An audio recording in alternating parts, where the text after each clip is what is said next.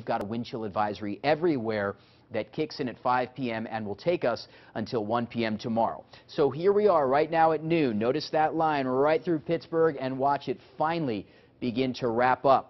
South and east in the ridges, we continue with snow at 3 p.m. A couple of snow showers in Pittsburgh, but no more accumulation. Even by 6 p.m., while most areas are drying out, extreme southern and eastern portions of the viewing area could still be seeing that accumulating snow. That's why we've got the 6 to 10 inches down to the south and wrapping up to the ridges. By 9 p.m., it looks like finally all the snow is done. And watch the wind chills plummet by tomorrow. This is at 5 a.m. again, minus 10 to minus 20. It is dangerous.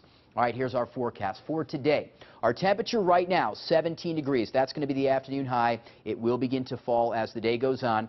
We'll leave snow showers in the forecast, even in Pittsburgh, but no additional accumulation once we get past the next 30 to 60 minutes. In the ridges, though, we could see snow on and off throughout the day. It is windy and colder, and tonight, look at this number, 1 degree. That's the temperature. Wind chill minus 10 to minus 20. Could see a couple of evening flurries, especially south and east, but no additional accumulation tonight. All right, four-day forecast shows a high tomorrow at 12. We don't have any snow in the forecast, but bitterly cold. More scattered snow on Thursday. Low temperature 8, high 16.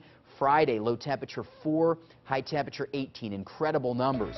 More snow in the forecast this weekend. Slightly warmer, but still nowhere near freezing, 26 and 22.